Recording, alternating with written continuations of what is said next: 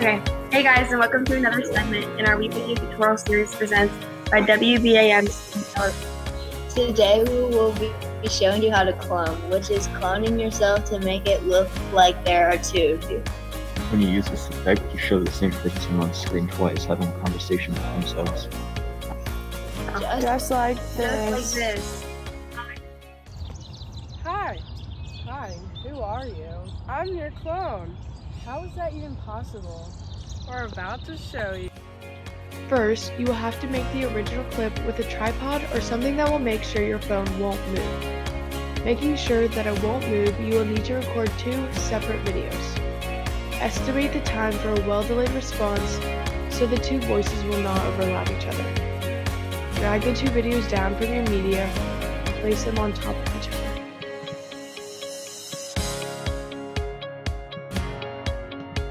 Next, you will have to crop the video where the crop line is least likely to be seen by viewers. And save changes.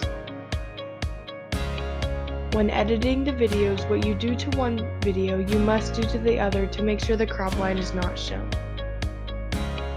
Are you me? Yes, I am. So you're my clone? Yep. That's so crazy. You look exactly like me. That's exactly what cloning is. Have fun, fun cloning.